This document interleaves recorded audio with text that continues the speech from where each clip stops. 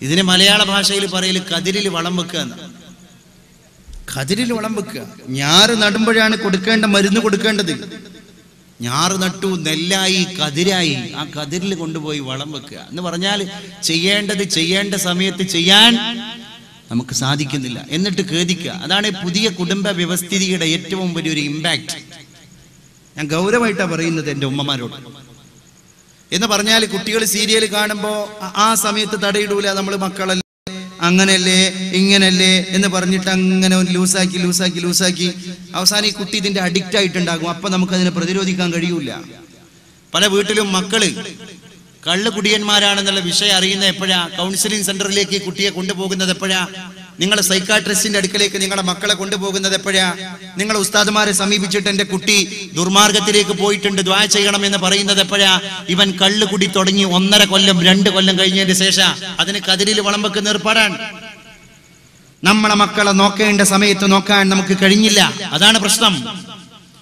ഈ അടുത്ത് മലപ്പുറം ജില്ലയിൽ ഒരു സ്കൂൾ റെയ്ഡ് നടത്തി. സ്കൂളല്ല റെയ്ഡ് നടത്തിയത് സ്കൂളിന്റെ തൊട്ടപ്പുറത്ത് കിടക്കുന്ന പെട്ടിക്കടയായിരുന്നു.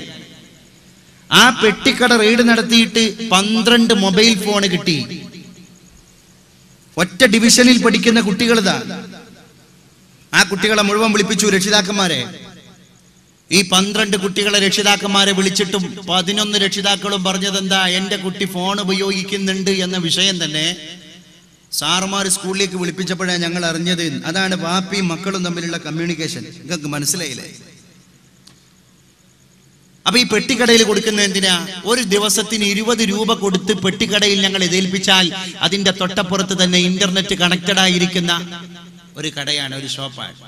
ഞങ്ങൾ ആവശ്യപ്പെടുന്ന ക്ലിപ്പുകൾ മുഴുവൻ വൈകുന്നേരത്തെ ബെല്ലടിച്ച് വീട്ടിലേക്ക് പോകുന്നതിന്റെ മുൻപ് ഞങ്ങളുടെ മൊബൈലിന്റെ മെമ്മറി കാർഡിൽ കയറിയിട്ടുണ്ടാകും ഭൂരിഭാഗവും കാണാൻ കൊള്ളാത്ത വീഡിയോകളായിരിക്കും. ഈ ചിത്രങ്ങൾ പോലീസുകാരാണ് വാപ്പാന്റെ ഉമ്മാന്റെ മുമ്പിൽ വെക്കുന്നത്. സ്കൂൾ അധികൃതരെ വിളിച്ചിട്ട്. നമ്മളെ മക്കളെ പറ്റി നമ്മൾ ഊറ്റം കൊള്ളാറുണ്ട് ധൈര്യം സംഭരിക്കാറുണ്ട്. ശരിയാണ്.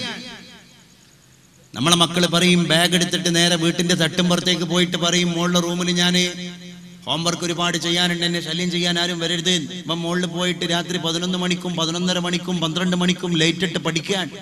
വാപ്പയും താഴെന്ന് പറയാൻ കഴിഞ്ഞ വർഷമൊക്കെ നമ്മുടെ മോന് ഇഷാമാരിപ്പിന്റെ ഇടയിൽ അങ്ങാടിയിൽ കൊണ്ടുപോയിട്ട് ഈ അനാ പിന്നെ അനാവശ്യമായ ഫ്രണ്ട്ഷിപ്പ് ഉണ്ടാക്കലായിരുന്നു. ഇപ്പൊ അവൻ അത്തരം ചീത്ത ഫ്രണ്ട്ഷിപ്പ് ഒന്നുമില്ല. അവൻ അടങ്ങി ഒതുങ്ങി വളരെ പ്രൈവറ്റ് ആയിട്ട് വീട്ടിലിരിക്കുകയാണ്. സമാധാനിച്ചിട്ട് നെഞ്ഞത്ത് കൈ വെക്കുന്നതിന്റെ മുമ്പ് എന്റെ ഉമ്മ എന്റെ ഉപ്പ നമ്മളൊന്ന് കേറിയിട്ട് അവന്റെ പണി അന്വേഷിക്കണം.